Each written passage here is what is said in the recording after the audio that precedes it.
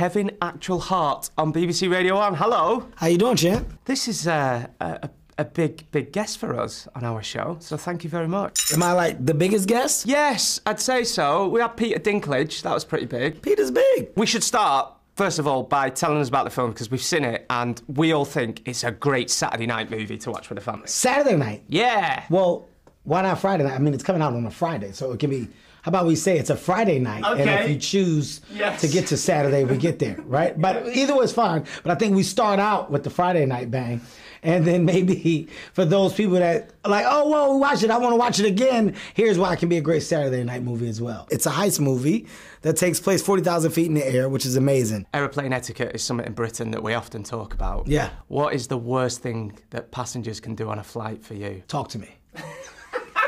Well, nobody nobody flies to meet a new friend. Yeah, going to London, huh? You know I'm going to London. It says it on the board. go to sleep. Get in your cubby or get in your seat and go to sleep. What about children? Would you be happy to do flights where Absolutely not. I don't want to be around them. I don't want a kid kicking my seat. I don't want a kid fussing with his parents about not wanting to sit there. Or the flight's too long, or I don't want to eat, or my iPad's not charged. Shut up!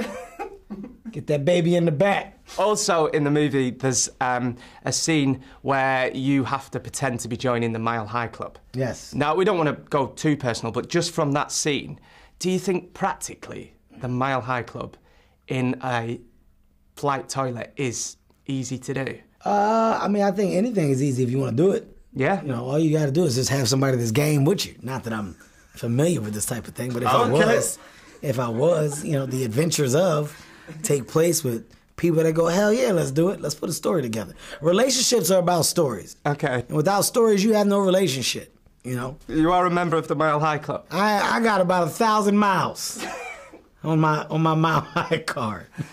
my wife hear this and kill me. Brilliant. I'm not recommending go and get yourself kicked off any planes.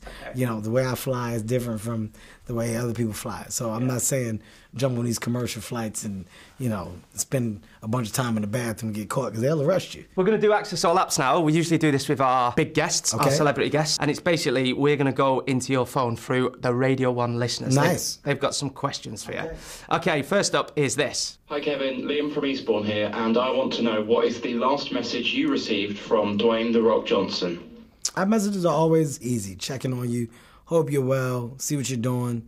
Much support, much love. I think the last message I sent to him honestly was something with kind of like a real tight shirt for like the WWE thing where he came out. I was like, that's aggressive. Like, le- le- go up a size. Yeah, we get it. You're big. Like, come on.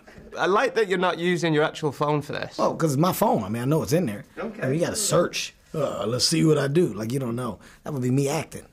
Hello, Radio 1. My name's Hannah, and I would like to know what the last screenshot is. My that screenshot. Now that I don't know. Go um, on. It's me sending a message to my kids. When I'm fussing at one of my kids, I send the message that I sent to my kid that I'm fussing with to the kid I'm not fussing with.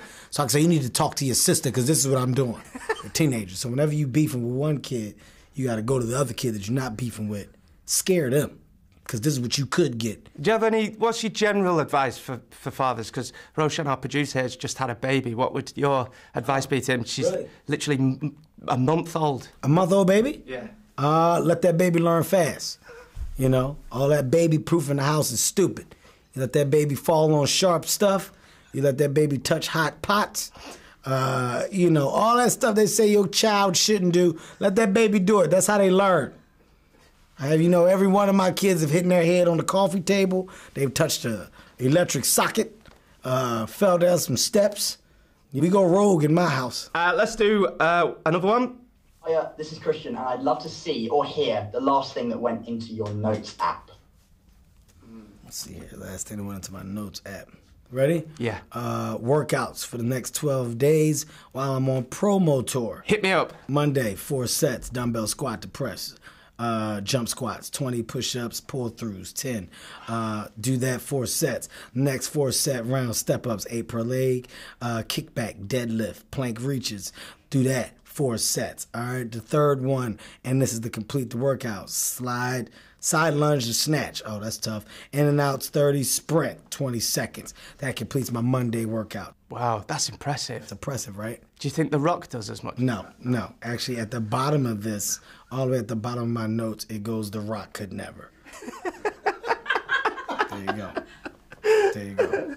We've got time quickly for one more. Hi, Kevin. My question for you is what comes up on your phone when you search awards on your messages? Ooh. So, you, do you have WhatsApp? A lot of Americans don't use WhatsApp, do they? Yeah, because we're cool. Um, let me see what comes up. No American. All right. Oh, here it is. You ready?